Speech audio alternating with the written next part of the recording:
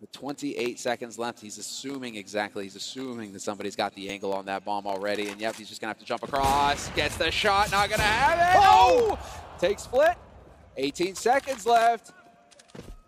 Needs to pick up this bomb, and he needs to hope that Buster's going to make a mistake. Can Buster actually step into the open here? No, decides to stick it. This is how it's done. Stick the bomb. Pros don't fake. And now it's on Buster and stavn head to head, 1v1. stavn with the angle. Buster with the right eye, though, could work his way in here. Who's going to hit the shot first? It's stavn coming through. Another clutch for Heroic to end the half. stavn coming up with the goods. and that, he lets out a little bit of chuckle. I think that's the pressure. I think that's the adrenaline just leaving him. That's incredible.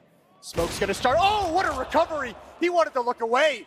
And now TeSeS is put into action and he's boosted up. They have no idea. He can hold the trigger. He can just chill. He's going to get both kills for free, and they think the bomb site is clear. TeSeS has them all fooled, and there it is. That was a LAN play. That was a LAN caliber play, and the fans. Map that anyone's felt good enough to start one. VP looks like they're warming up into this. It's just taken them 23 rounds to do it.